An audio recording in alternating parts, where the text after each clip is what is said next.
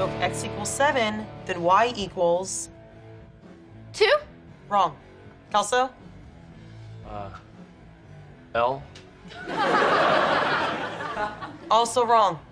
It's a pretty simple equation, guys. Just think about it for a second. You're so pretty. You don't even need to know math. That's so weird. I was just thinking the same thing. Steven, you're so pretty you don't need to know nothing. That's good, because I'm stupid. Come on, guys. Think. Yeah, yeah, right. Gotta be something we can do. I got it.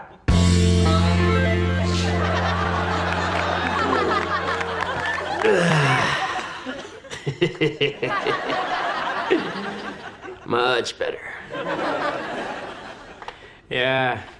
Now instead of feeling scared and anxious, I feel relaxed and. relaxed.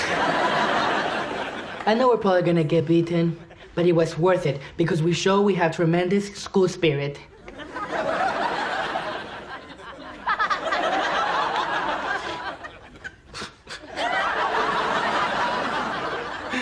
Go Vikings! School spirit is for losers, man. You're just like floating along on a conveyor belt of conformity. Pep rallies, extracurricular activities, washing your hair. It's all just a trap, man. Yeah, Fez, it's one thing to root for a football team, but to confuse the Point Place Vikings with a sense of personal identity, that's just. relaxing.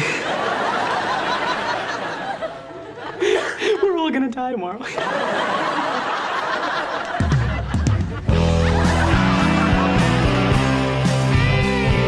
So if x equals 7, then y equals. Two? Wrong. Kelso? Uh, L? Also wrong. It's a pretty simple equation, guys. Just think about it for a second. You're so pretty. You don't even need to know math. That's so weird. I was just thinking the same thing.